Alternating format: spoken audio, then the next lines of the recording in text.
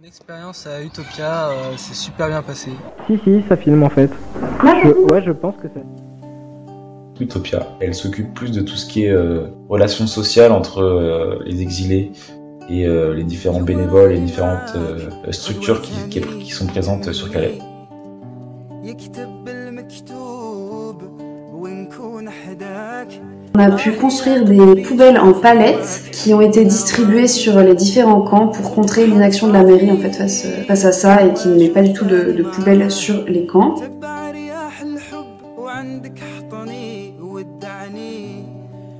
On a pu faire euh, des rocket stoves, donc c'est des, des petits réchauds en boîte de conserve qui sont aussi distribués euh, du coup ensuite sur les camps.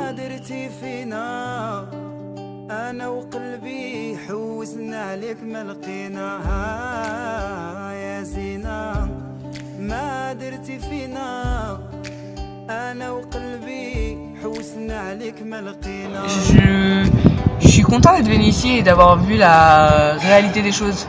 Moi, je pensais être confrontée à quelque chose de vraiment de- d'horrible, je veux dire de, de choquant, traumatisant.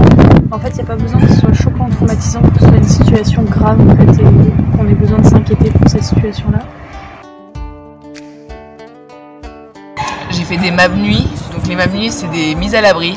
C'est-à-dire qu'on euh, on a un téléphone d'urgence avec Utopia et que les, les, gens nous appellent quand ils ont besoin d'aide.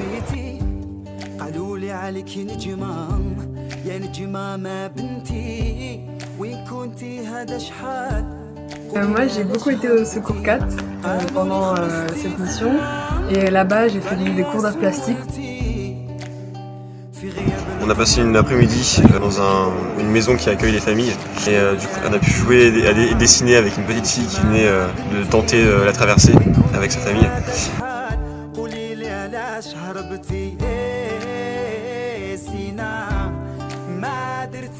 C'est assez stressant, donc il faut garder son calme et c'est dans ce moment-là où tout ce que tu fais est ultra ultra important.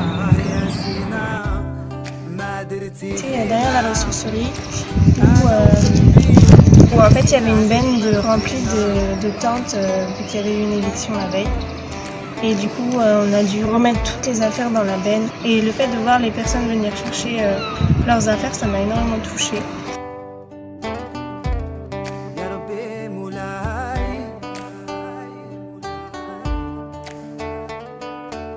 Pendant la mission, nous avions le droit à deux jours off par semaine euh, pour pouvoir nous retrouver entre nous et pouvoir euh, déconnecter un peu avec le climat euh, assez éprouvant de Calais. Triste de partir, franchement. Mais je reviendrai sûrement incessamment sous peu, je pense.